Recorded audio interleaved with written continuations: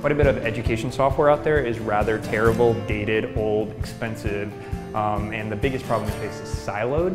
So what that means for educators, for parents, or for students, you spend a lot of time hunting down data to understand how kids are performing. When we first started out, um, it was simply to create a tool for our high school.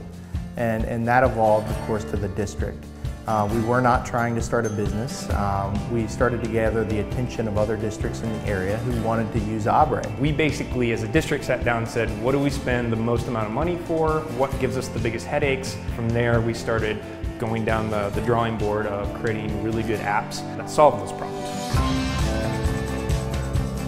After that time, I really I left the classroom, and this allowed me to start developing what is now Abre um, starting to code and starting to develop an app to allow teachers to teach, students to learn, and allow parents to access all that information from home.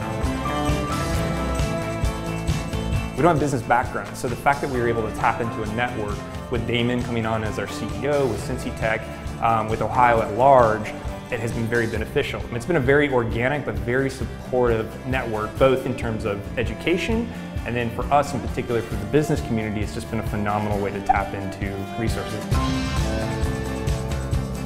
So if you're interested in starting a new business, I think the thing to keep in mind is staying focused on what you're really passionate about. If you're really, really passionate about a problem that you're trying to solve or make something better or an idea for innovation that you really think you can bring to the table, that's really your driving force and your driving factor that stays with you through the entire process.